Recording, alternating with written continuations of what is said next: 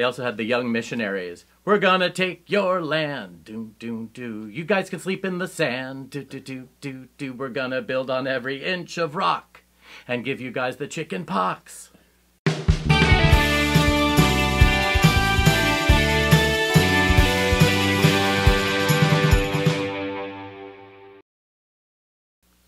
I feel like I should be eulogizing this guy, but he's alive.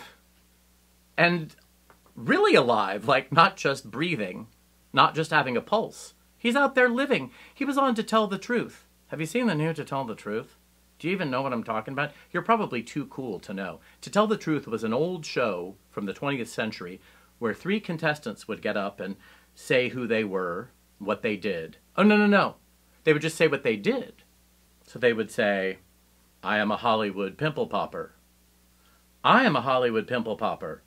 I am a Hollywood pimple popper. And then a panel of celebrities has to ask them questions and figure out which one is the pimple popper. Norman Lear was on the new to tell the truth. And I loved him. He was great. He was really good at the game, too. And in one of the rounds, he refused to vote because there was someone who claimed to be a burlesque dancer. And he said, if you don't know this or da da da da, you obviously don't know what you're doing. I'm not voting. I don't, I don't, I don't know why he stood off like that, but you know what? After you've created all of that television, launched all of these careers, not just in the acting realm, but in directing and writing, in producing and training new producers, I think you have a right to sit out around to tell the truth. Norman Lear.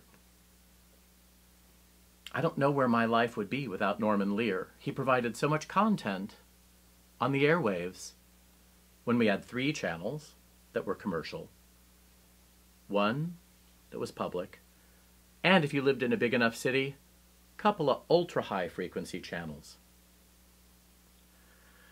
And then you had syndication on the ultra high frequency channels. So there was a lot of Norman Lear.